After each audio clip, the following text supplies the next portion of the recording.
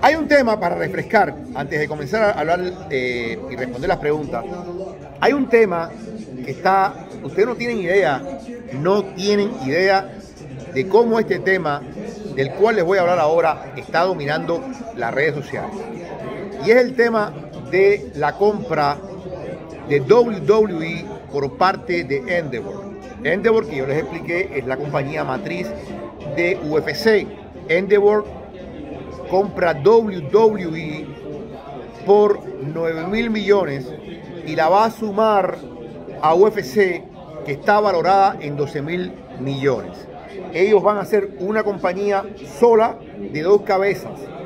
Vince McMahon va a seguir dirigiendo WWE y Dana White va a continuar dirigiendo la UFC. El gran peligro de esto, y yo les estaba comentando ayer, el gran peligro de esto es que de alguna forma muchos de los elementos de WWE permen lo que es UFC. La gran diferencia entre WWE y UFC es que el elemento competitivo de UFC es real. Mientras eso se mantenga, no hay problema. Mientras las peleas de UFC sigan primando con el tema deportivo por encima de otros elementos, yo creo que eso es válido y es sólido.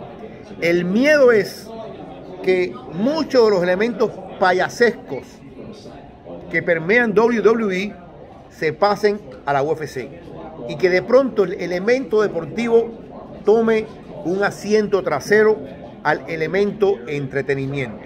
No sé si me van entendiendo por aquí. El otro día estaba viendo una cosa muy interesante y estaban haciendo una encuesta de quiénes eran los atletas de UFC que, que pronto los veremos en WWE. Esto es interesante. Y la encuesta decía que hay dos peleadores, dos peleadores por encima de todo, que muy pronto potencialmente van a estar en WWE. Y son Derrick Lewis y Taito Ibasa. Los fanáticos decían que Derrick Lewis y Taito Ibasa, porque tal vez ya no van a hacer mucho en esta empresa, porque tienen una personalidad cómica, una personalidad que al público le gusta, eh, muy pronto los vamos a ver en WWE. Yo no tengo problema con eso. En definitiva, Brock Lesnar fue una mega estrella de UFC y hoy es una mega estrella de WWE. En algún momento Ronda Rousey fue la gran estrella de UFC y ha incursionado en WWE. Yo lo que no quiero ver en este crossover, lo que no quiero ver es que pongan a alguien de WWE a pelear porque sí, porque no creo que eso tenga un valor grande para el que realmente aprecie el combate. Por supuesto que en algún momento veremos a McGregor. Por supuesto que en algún momento se habla de Paddy Pimble. Pero eso es para otro día. Eso es para otro momento. Yo creo que por, por, ahora me parece muy inteligente lo que ha hecho Endeavor.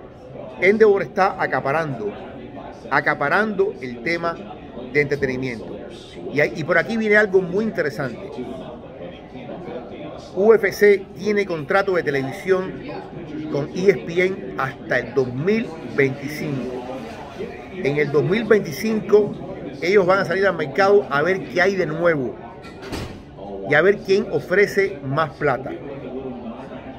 Yo siento que lo que han hecho con esto es darle más poder a UFC, más poder a WWE y tratar de dominar el mercado de los deportes de combate se está hablando que también van a entrar en el mundo del boxeo. Vamos a ver qué pasa con esto. Que también van a entrar en el mundo del boxeo. Y que ellos quieren dominar el panorama de los deportes de combate. Por el momento, yo creo que el batacazo que han dado es enorme. Pero vuelvo y repito, no quiero ver en ninguna circunstancia, en ninguna circunstancia, que el nivel competitivo de UFC baje porque quieran premiar a Paddy Pimble o que quieran premiar a, alguien sencillamente porque es bonito o alguien porque cae bien. Eso es un tema que hay que estar muy pendiente. Que UFC se mantenga. UFC se ha hecho grande en la historia porque ha tenido grandes campeones, porque ha dado grandes peleas, porque le ha dado al fanático las peleas que el fanático pide, porque cada UFC pay-per-view tiene un atractivo para que la gente sea capaz de pagar un extra.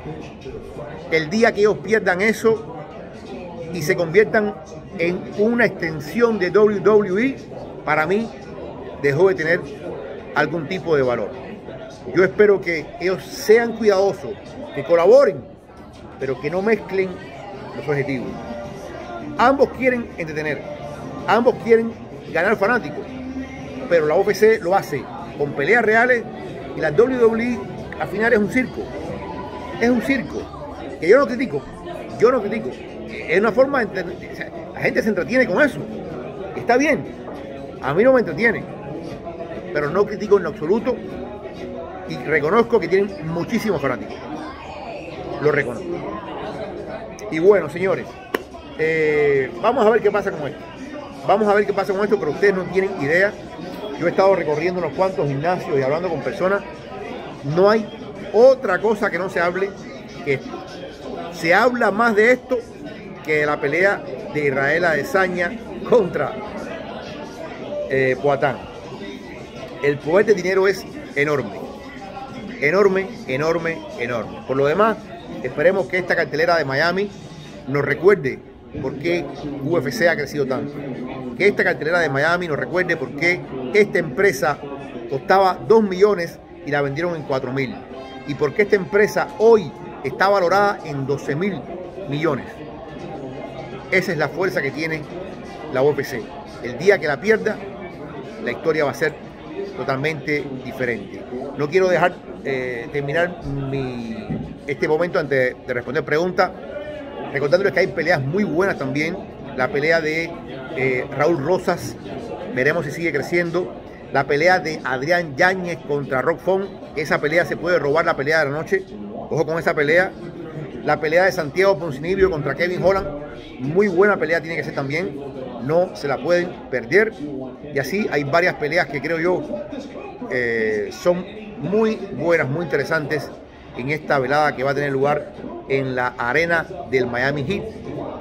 Mañana estaremos ya en lo que es el día de medios, les vamos a traer muchas entrevistas, muchísimas entrevistas, después es la conferencia de prensa, después el pesaje y el sábado la gran velada de UFC.